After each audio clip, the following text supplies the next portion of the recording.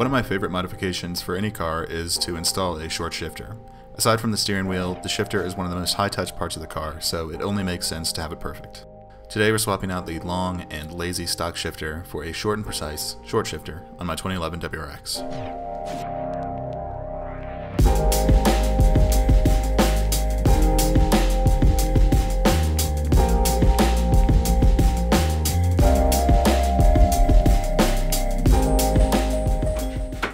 Alright, so this is pretty easy mod to do in an hour or so. I'm going to start by removing the center console, which will allow me to then remove the trim piece around the shifter.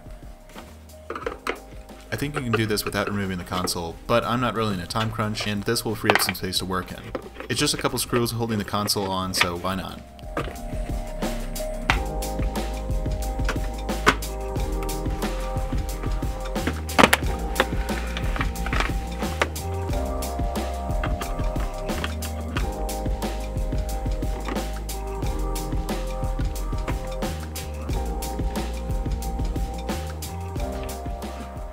I'll keep these screws in here for safekeeping.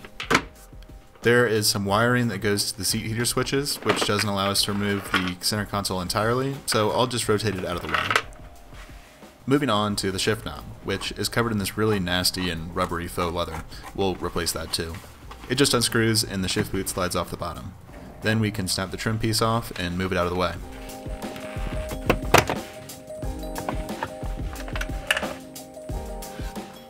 Underneath we see this old school accordion style shift boot. This rubber in the foam underneath serves to dampen some of the sound from the transmission, which on this car can actually be pretty noisy. Now we have our first look at the actual shifter. We'll remove the bolt that attaches the shifter to the shift rod, which then frees us up to get at the retaining clip in the ball and socket below.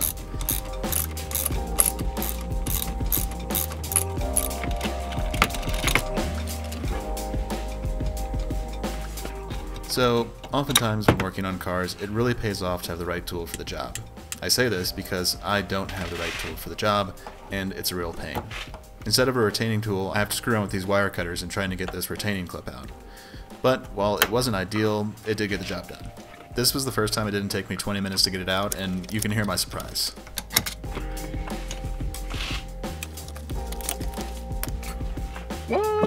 Next step is yanking the shifter out of its socket, making sure not to lose any O-rings in the process.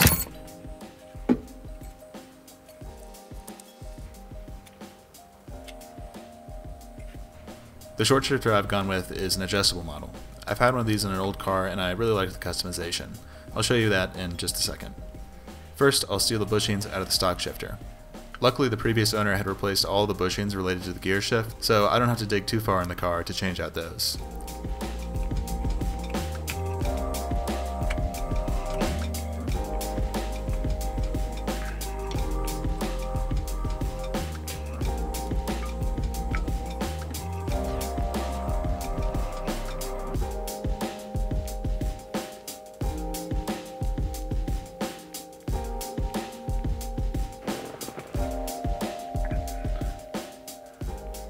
Here you can see kind of a side-by-side -side comparison of the stock versus the short shifter.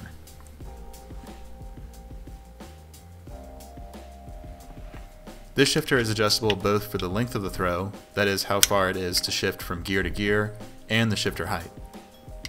I'll bring the throw just a little bit shorter than out of the box.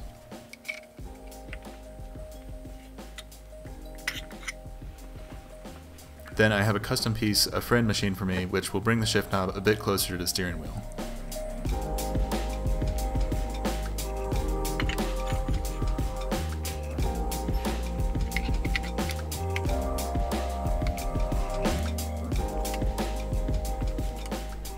Time for a little lube.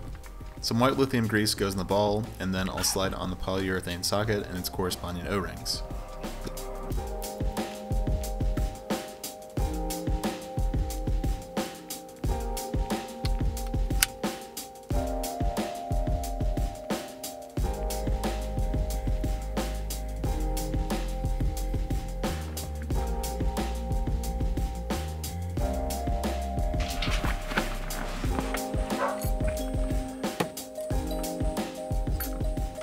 The shifter then drops back in with a really satisfying noise before we get back to the retaining clip.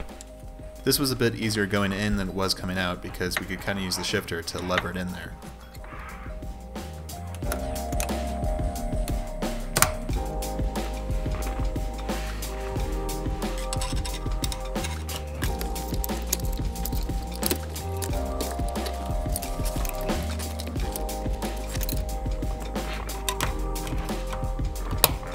Next, we'll reattach the bolt that connects the shifter to the shift arm, being careful not to over tighten this as it might make shifting a little bit stiffer than we want it to be.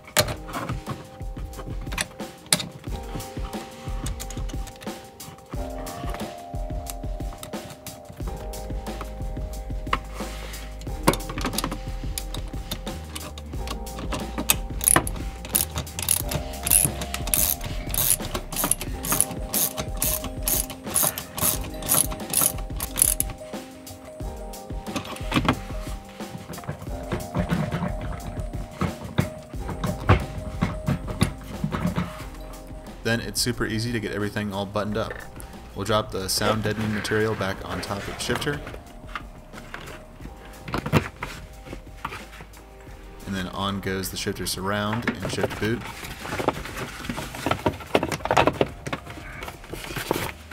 I'll definitely want to replace that plastically looking shift boot in the future. We'll lower the center console back down and then screw back in the three screws that hold it in place.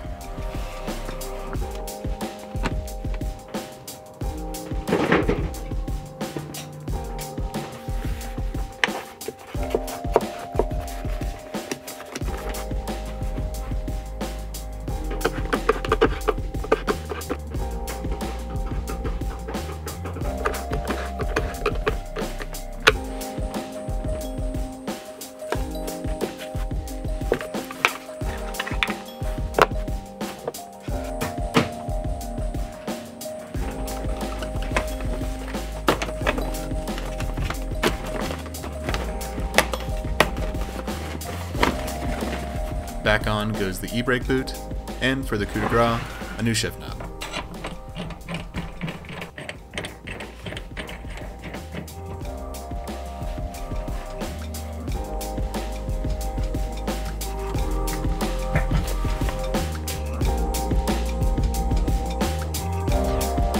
I'm really pleased with how this turned out. It makes all the difference when you're driving around town and shifting constantly to have that short shifter. You can check out a comparison between stock and short in this clip here. Of course, the short shifter is a little bit off to the left thanks to that custom piece. And hey, thanks for watching this video. Also, thanks for all the nice comments on other videos I've made. Those always make my day when I see them. I'll see you next time. Until then, take care.